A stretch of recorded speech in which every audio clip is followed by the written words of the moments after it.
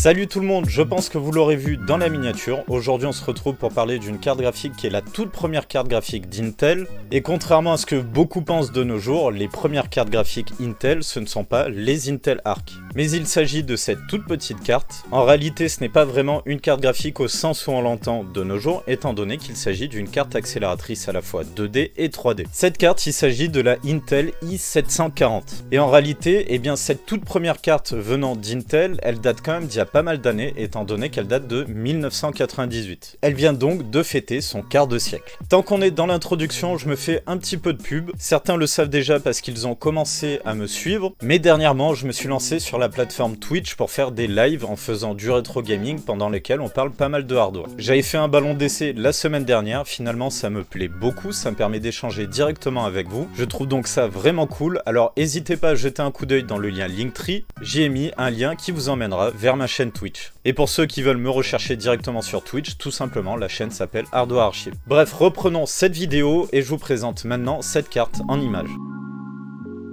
Voilà cette Intel i740 en image, elle a été commercialisée en 1998 et il s'agit donc de la toute première carte graphique d'Intel, ou plus précisément une carte accélératrice à la fois 2D et 3D. Je vais pas m'étaler à nouveau là-dessus, je l'ai déjà évoqué plusieurs fois sur la chaîne, mais à cette époque-là, le concept de disons GPU moderne n'existait pas réellement. L'accélération 2D 3D étant une technologie quand même assez différente. Concernant les caractéristiques techniques, on est donc sur un chipset 2D 3D nommé Auburn, gravé dans ses débuts en 350 nanomètres et cadencé à 220 MHz. Concernant la mémoire, c'est un système assez particulier sur cette carte, car cette carte embarque uniquement de la mémoire dite frame buffer, donc juste pour stocker les images avant de les envoyer à l'écran. Elle dispose de 8 mégaoctets, ce qui permet malgré tout d'avoir des bonnes définitions sur les écrans de l'époque, alors que pour le reste de la mémoire, par exemple pour stocker les textures, elle utilise directement la mémoire sur la carte mère, la mémoire du processeur donc, et ça en utilisant le port AGP dont elle fait partie des toutes premières carte à l'utiliser, mais aussi avec l'aide du chipset qui fait donc la liaison entre la connectique AGP et la mémoire RAM du PC. Pour ajouter un peu de piment à cette vidéo, je lui ai trouvé une opposante, il s'agit d'une Matrox Millennium G200. J'ai pas énormément m'étaler dessus, je compte sûrement faire une vidéo dédiée à cette carte là, mais en gros il s'agit d'une des principales concurrentes de la carte Intel, sortie elle aussi en 1998, qui fait à la fois chipset 2D et 3D embarquant 8 mégas de mémoire. Et là où la carte Intel pouvait se négocier entre 900 et 1300 francs, la carte de Matrox pouvait se négocier entre 900 et 1400 francs. Des prix tout à fait similaires, c'est donc pour ça que j'ai décidé de les opposer toutes les deux. Vous l'avez donc vu, c'est quand même une carte qui a un fonctionnement assez particulier. Et d'ailleurs, j'avais fait un article pour le site Hardware Cooking concernant cette Intel i740, notamment parce que l'entreprise à l'initiative de cette carte accélératrice n'est ni plus ni moins que Lockheed Martin, par le biais de leur entreprise grand public qui était 3D Real. Donc tout ça, j'en parle rapidement dans mon article de Hardware Cooking, donc n'hésitez pas à y faire tour, vous trouverez ça dans la description. Concernant la carte à laquelle je vais l'opposer, la fameuse Matrox Millennium G200, eh bien je suis content de vous la présenter étant donné que Matrox était quand même une marque qui avait une aura assez particulière dans les années 90. Principalement parce que leur chipset 2D était vraiment très bon et que malheureusement le passage à la 3D a quand même mis un sacré coup d'arrêt à Matrox. Mais Matrox c'est une marque qui existe toujours, ils font notamment des bonnes cartes d'acquisition vidéo pour le secteur pro. Bref, c'est vraiment une marque qui va rappeler pas mal de souvenirs à certains. Ça me permet de rebondir sur un élément particulier du contexte au niveau des cartes accélératrices dans les années 90, c'est que c'était un milieu qui était extrêmement concurrentiel. Parce qu'il y avait énormément d'acteurs sur l'accélération 3D notamment. Pour les plus connus, on peut parler de 3DFX, il y avait Nvidia aussi avec les Riva, Riva TNT. Il y avait aussi ATI avec les ATI Rage par exemple. il y avait d'autres marques moins connues qui produisaient aussi des chipsets 3D, tels que Trident qui était pas très doué pour les chipsets 3D, il s'en sortait mieux pour la 2D. Un peu plus connu, il y avait aussi S3 qui proposait des cartes ou encore Cirrus Logic qui eux aussi avaient du mal avec la 3D. Et en réalité, le passage à la 3D, un petit peu comme pour le monde du jeu vidéo, ça fait pas mal le ménage. C'est-à-dire que dans le monde du jeu vidéo, il y a finalement pas mal de licences qui se sont totalement ramassées quand ils ont sorti leur premier jeu en 3D. Et eh bien dans le monde du hardware, c'est un petit peu pareil, il y a beaucoup de marques qui se sont ramassées quand ils ont voulu commencer à sortir des produits faits pour la 3D. Ce qui fait que pendant très longtemps, on s'est retrouvé avec deux concurrents pour les cartes graphiques, qui étaient Nvidia ou ATI AMD, et que Dernièrement, on a Intel qui a fait un petit retour là-dessus, mais il faut quand même avouer que ça reste difficile pour eux. Alors que dans les années 90, vraiment, on avait le choix, il y avait énormément de marques concurrentes. Bref, je divague pas mal, on va maintenant passer au test en vidéo.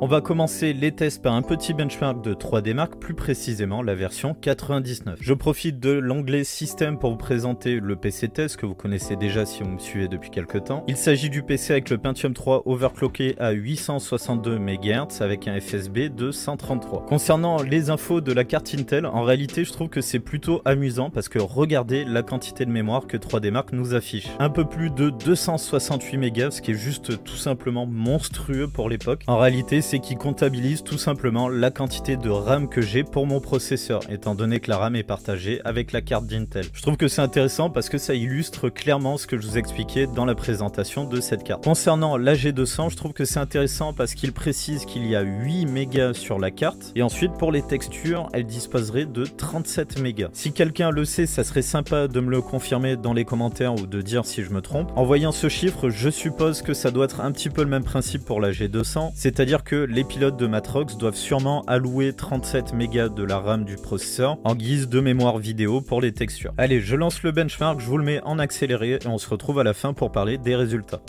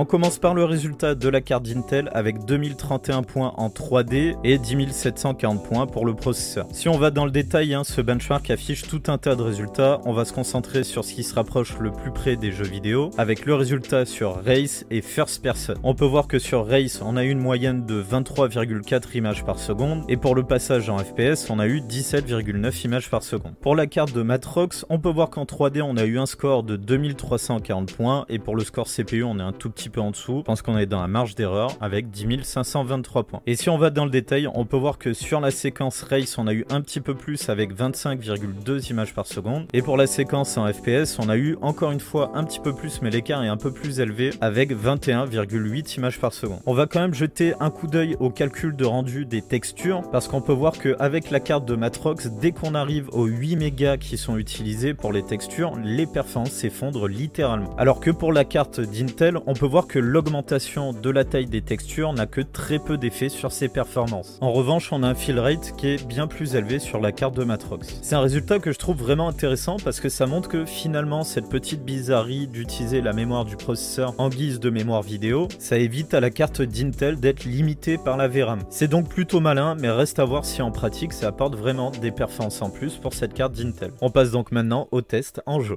Pour les tests en jeu, on va commencer par Quake 2. Et en guise de benchmark, j'utilise la séquence qui apparaît lorsque l'on ne fait rien au lancement du jeu. Et pour les réglages graphiques, je vous les affiche, on est donc en 1024 par 768. C'est une grosse définition pour l'époque, mais le but c'est de tester ces cartes en les mettant dans leur dernier retranchement. Et je pense que vous l'aurez remarqué, à gauche on a la carte d'Intel et à droite la Matrox G200, hein, pas G400 comme j'ai mis, je me suis loupé. Et on peut voir qu'il y a quand même un bon petit avantage pour la carte de Matrox, on a en moyenne entre 3 et 5 images par seconde en plus. Et vu qu'on a un framerate qui est plutôt bas, on va dire autour de 15-20 images par seconde, ça donnerait entre 15 et 20% de performance en plus pour la carte de Matrox. Donc malgré qu'on ait une mémoire vidéo quasiment illimitée pour cette Intel i740, et eh bien en pratique, sur ce jeu en tout cas, ça ne permet pas de donner un réel avantage à cette carte. Pour le deuxième jeu, j'ai voulu tester avec Diablo 2. En revanche, c'est pas hyper pertinent parce que j'ai un petit souci avec la carte d'Intel, c'est qu'elle n'est pas disponible pour la version 3D du jeu. On sera donc uniquement sur le chipset 2D, c'est pas hyper intéressant, mais ça nous permettra de voir si la très bonne réputation des chipsets 2D de Matrox permet de donner un avantage dans ce cas-là. Pour le test, je me balade donc simplement dans le camp des rogues au début du jeu et on a exactement le même framerate que ça soit avec une carte ou avec l'autre. Donc ce résultat, il n'est pas vraiment intéressant,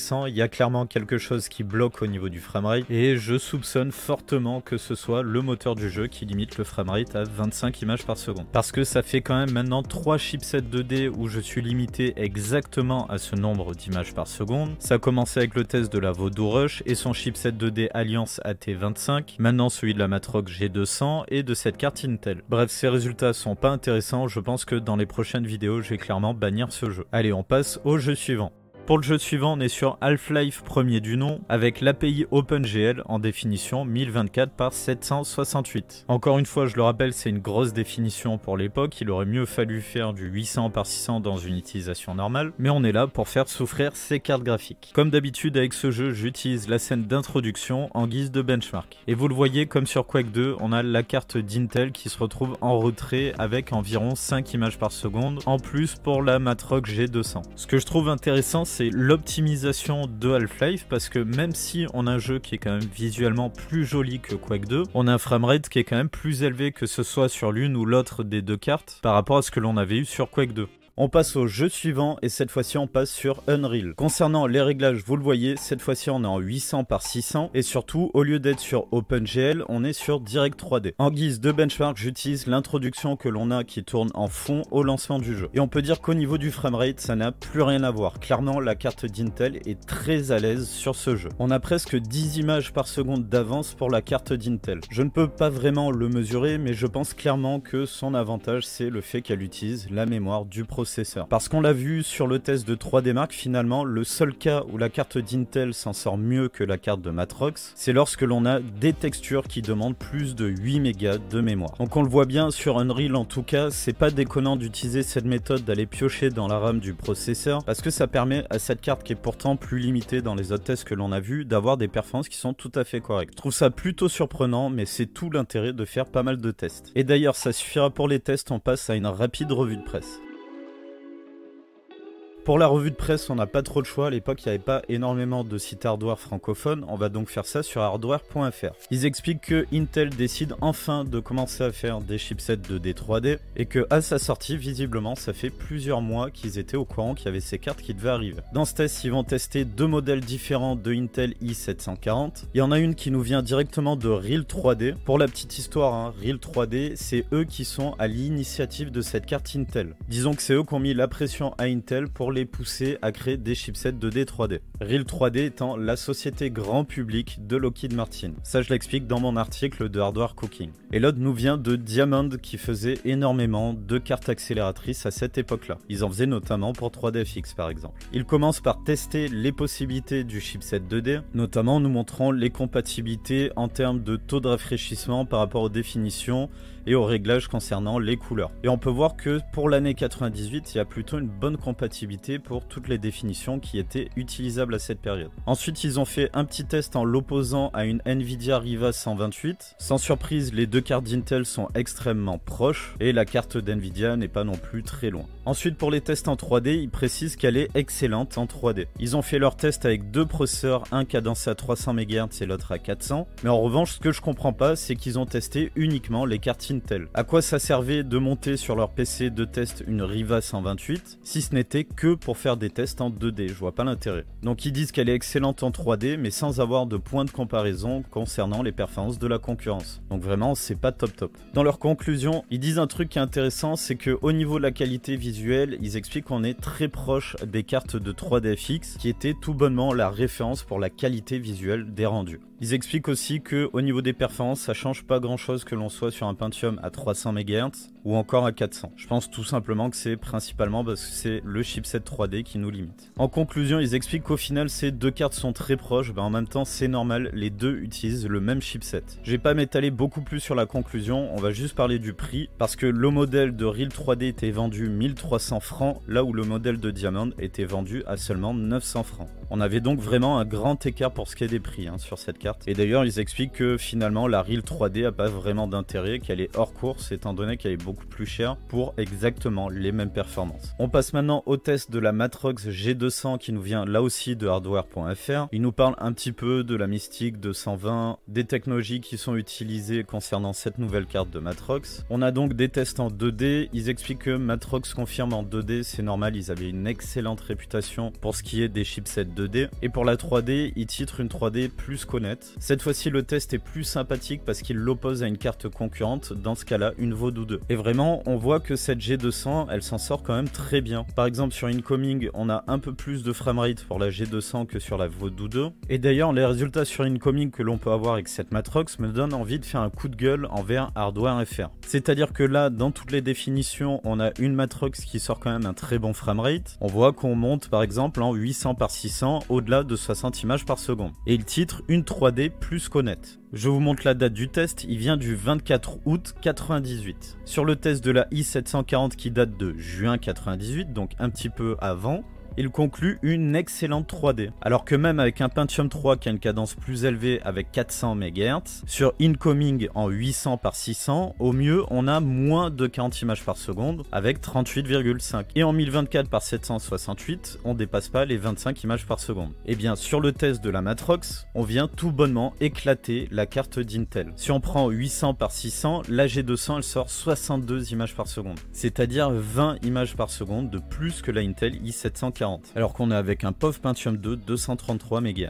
Et en 1024 par 768, on sort plus de 40 images par seconde, là où la Intel fait seulement 25 images par seconde. Donc vraiment, c'est pas incroyable. Donc vraiment, avec une carte qui fait beaucoup mieux en 3D et qui est sortie très peu de temps après finalement, pourquoi conclure simplement une 3D plus qu'honnête, alors que pour une carte qui fait moins bien, qui est sortie très peu de temps avant, ils expliquent qu'elle est excellente en 3D, alors qu'elle a des performances qui sont beaucoup plus mauvaises. Bref, c'est vraiment pas terrible, en tout cas on continue avec ce test là. Si dans les autres jeux, il y a un léger avantage pour la carte de 3D FX, on voit que la Matrox est vraiment pas loin. En revanche, les écarts se creusent quand on augmente la définition en 800 par 600, la Vodou 2 venant même rattraper la carte de Matrox sur Incoming là où elle s'en sortait mieux tout à l'heure. Et en revanche, on voit l'avantage de la compatibilité de la carte Matrox en 1024 par 768, parce qu'avec une Vodou 2 seule, à l'époque, on pouvait pas dépasser les 800 par 600. Ils ont aussi testé avec un Pentium 2 plus performant, hein. tout à l'heure on était sur un 233, avec un 450 qui est vraiment un gros Pentium 2, on peut voir qu'on a un gain qui est quand même très intéressant, mais qui donne un sérieux avantage à la Vodou 2 en 640 par 480, et l'écart se réduit plus on augmente la définition, mais en même temps c'est normal puisqu'on commence à être limité par les cartes 3D. Et là par contre ils disent un truc intéressant, c'est que a priori sous Direct 3D, la carte de Matrox s'en sort pas très bien. Et ça vraiment je trouve que c'est un détail qui est important parce que ça peut expliquer les mauvaises performances que l'on a eues sur Unreal. On le voit sous Direct 3D, ils expliquent que les performances sont pas vraiment de premier ordre. En conclusion, ils expliquent que la Matrox G200 est une très bonne carte, mais qu'elle fera pas le figure face aux cartes de Nvidia ou encore d'ATI. Mais par contre qu'ils ont une carte à jouer intéressante au niveau du prix, car si au moment de la sortie a été vendu 1390 francs, le prix a vite baissé à 1190 francs, et ils expliquent qu'il était même possible de la trouver à moins de 900 francs dans certaines boutiques de Paris. Donc en vrai, ça c'est intéressant cette conclusion au niveau du prix, parce que ça veut dire qu'on se situe vraiment dans la tranche de prix de la carte d'Intel, ce qui fait que ces deux cartes étaient vraiment de bonnes concurrents.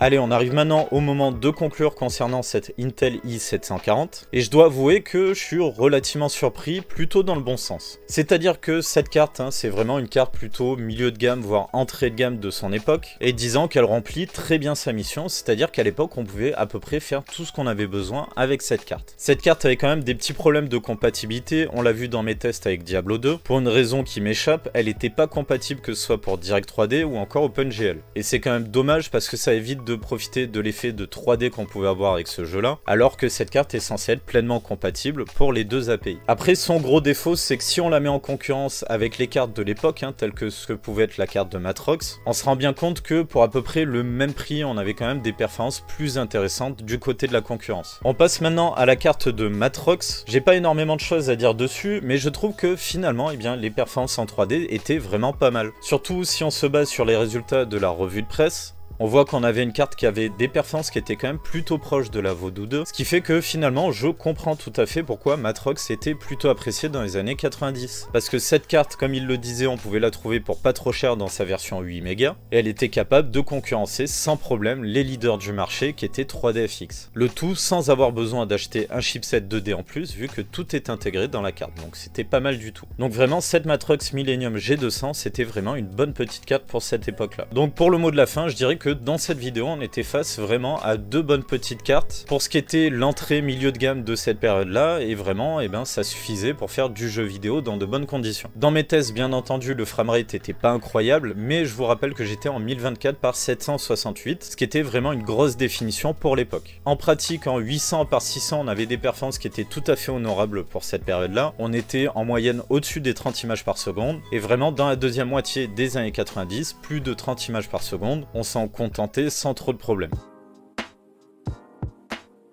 Voilà, on arrive donc à la fin de cette vidéo, j'espère que ça vous aura plu. N'oubliez pas de faire un tour sur le Twitch, hein. je pense vraiment faire des lives régulièrement. Surtout que de plus en plus d'entre vous le savent, je prépare un déménagement qui est très compliqué. Ce qui fait que pendant un temps, je suis pas sûr de pouvoir vous sortir des vidéos sur du hardware. Donc Twitch sera la bonne occasion de continuer à vous proposer du contenu tout en échangeant avec vous. J'ai d'ailleurs beaucoup de concepts que j'aimerais faire sur Twitch. Donc vraiment, j'insiste, n'hésitez pas à faire un tour sur la chaîne Twitch. Bref, si la vidéo vous a plu, n'oubliez pas de le pouce en l'air ou encore à vous abonner. Si vous avez envie de m'aider à mettre en avant cette vidéo, on va le faire avec un hashtag. On va mettre hashtag première carte graphique Intel. Dans la description du coup, vous trouverez le lien Linktree vers les réseaux sociaux, le Twitch, le Discord, la boîte mail, donc n'hésitez pas à jeter un coup d'œil. Allez, on arrive à la fin, donc prenez soin de vous et on se retrouve dans la prochaine vidéo.